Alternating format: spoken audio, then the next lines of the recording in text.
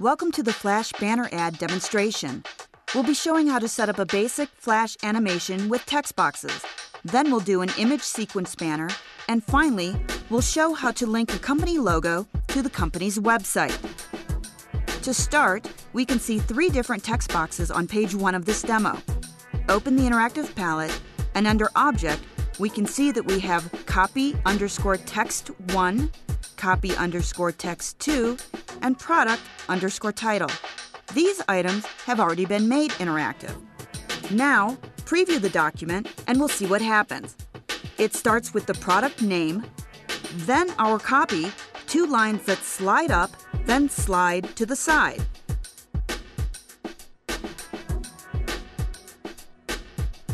This is followed by page 2, which is an image sequence.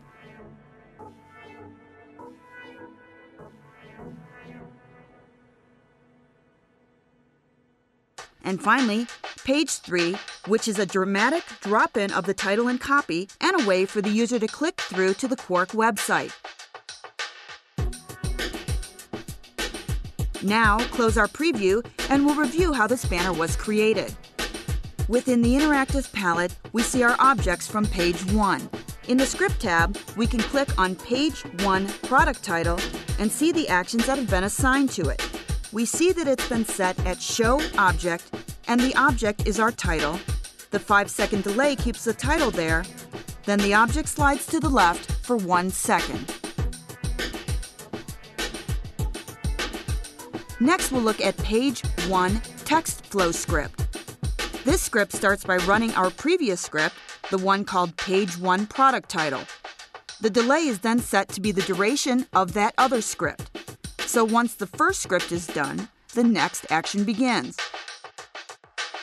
That action is slide object copy underscore text underscore p1. It slides in from the bottom, delays for 3 seconds, then slides out to the left. Then the second tagline, text 2, follows the exact same path.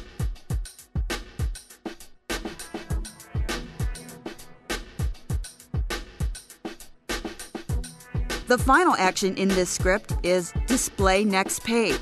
This automatically goes to the next page, and our effect is fade, transparent in, and it lasts one and a half seconds.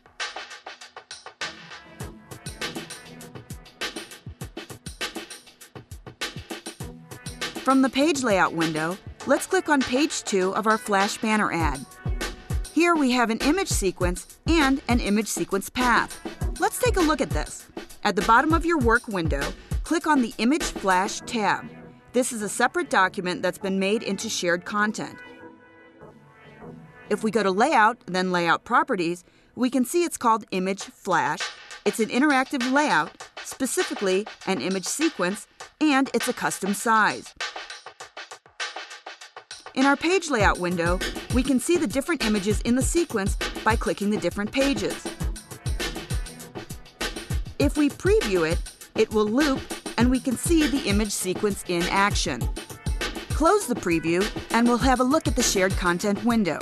Here we can see the image flash file and see that it's shared content. Once the shared content image sequence is placed, it automatically becomes an interactive object. Type is animation, as we can see in the interactive palette. Now the display is sequence on a path. Sequence is image flash set at 12 frames per second. The path it follows is the image underscore flash underscore path, which itself is an interactive object. Here we can see the path is a basic object initially hidden. It never displays, it's just a path for the image sequence. Now, back to the sequence. We see its path is chosen already and it's set to initially hidden. If we hit the specify button, we can set the motion path for this object. Here we can change direction and we see the path from start to finish.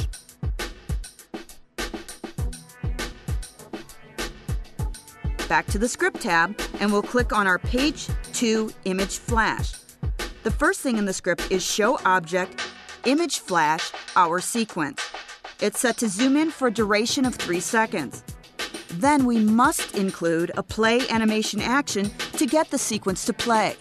Then we have a 2.5 second delay, and then we show object flash enabled, which is our second object in the document.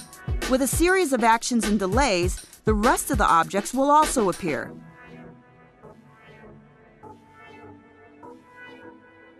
In addition, we have included some actions to hide objects.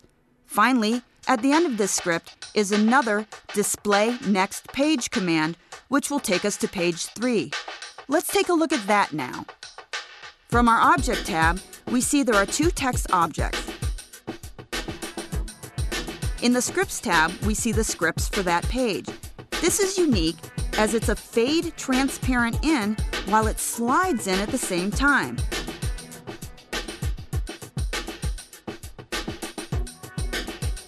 Then a brief delay, and then we show the second object with a curtain horizontal transition lasting half a second.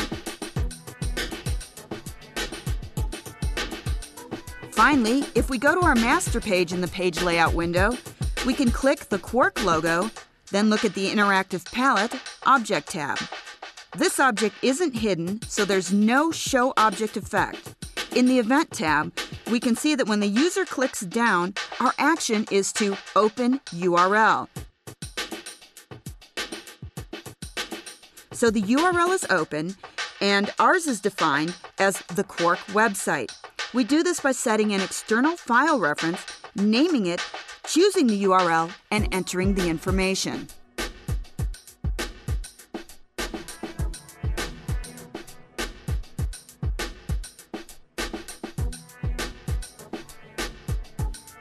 Now, when we run this file, we'll see all of the effects.